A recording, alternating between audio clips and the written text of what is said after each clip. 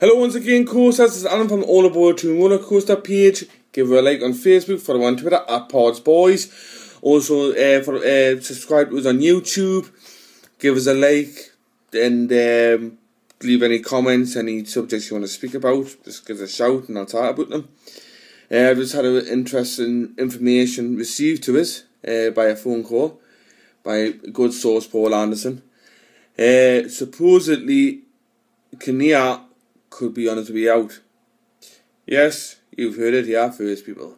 Kinnear is on his way out, supposedly. Um, he's been turning up to meetings pissed. He's got a bit of a problem. Um, supposedly, there was a PR meeting with the board the other day, and Pardew and Carr and everybody was there. Kinnear decided to go up on the train get himself tanked up, go to the meeting motor drunk. Uh, rang Pardew the next day and said, What time, when's the PR meeting? He didn't remember it.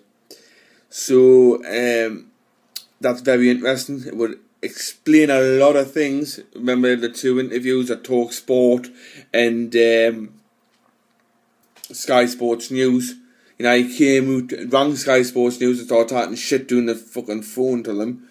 Um, doesn't remember the names, so you must have been pissed then. And then when you on Talk Sport, he was pissed getting every fuck his name wrong.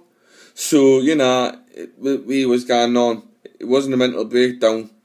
No, he was fucking hammered.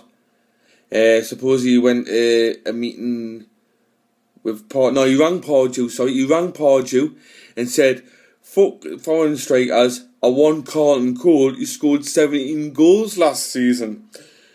Uh, sorry, Joe, you only scored two, you fucking pisshead. Hey, then um, supposedly Darren, uh, Darren Bent's agents and representatives and all that said he turned up in negotiations, pissed as well. Uh, Remy and the Gomez deal, um, he have sidestepped them. They've just done it themselves. They've went in and done the deal without Kinnear.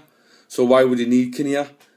So supposedly there's a rumour going round of um, where there's been a leak by a Newcastle insider that they're going to remove Kinnear from his duties because he's not trusted.